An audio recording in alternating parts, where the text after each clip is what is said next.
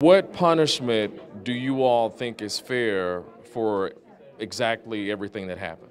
I feel like community service is fine. And then also, the five people that got caught, they're getting serious charges, like charges that might stop them from going to school. Aliquippa Senior Class President Mariah Harris, along with 14 of her classmates, won't be able to walk across the stage for graduation because of a senior prank.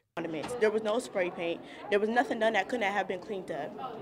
There, this is blown out of proportion. Everything that was done in the prank could be easily swept up or wiped off.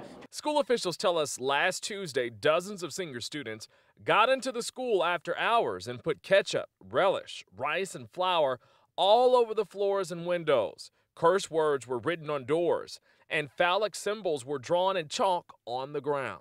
Administrators tell Channel 11 things were so bad they weren't able to have school on Wednesday or their board meeting on last Friday.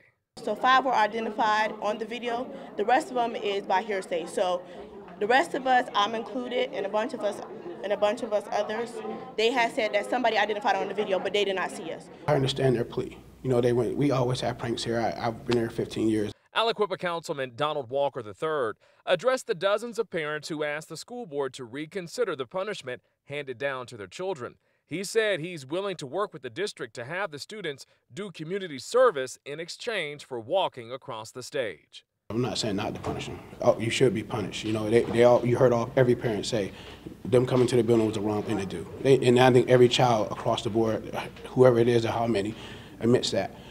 I'm told some students could actually be facing misdemeanor charges and that the Aliquippa police are investigating. District officials went on to say that they are willing to talk more about what happened after the investigation is complete.